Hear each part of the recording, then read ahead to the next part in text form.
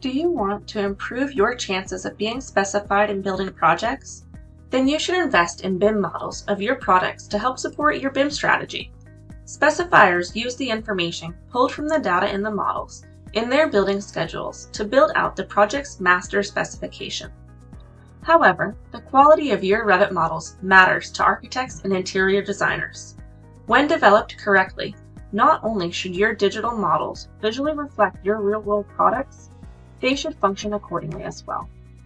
The 3D geometry is important for spatial coordination, but more importantly, the information in your BIM objects should provide the necessary information for AEC professionals to validate that it meets the design requirements. Your furniture models should be simplified versions of your real-life products. Having furniture models that carry relevant information on sizing, materials, and MEP connections is key. When you have top-notch BIM models, designers are able to accurately portray their design intent to building owners. From running material studies or planning paths of egress, to confirming spatial requirements and connecting to the building's MEP systems for further analysis.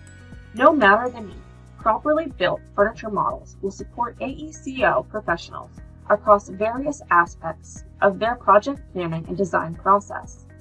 BIMobject has the necessary building industry, technical acumen, and insight to develop your Revit models. The technical team consists of architects and engineers with real-world project design experience, with world-class Revit family development expertise and know-how.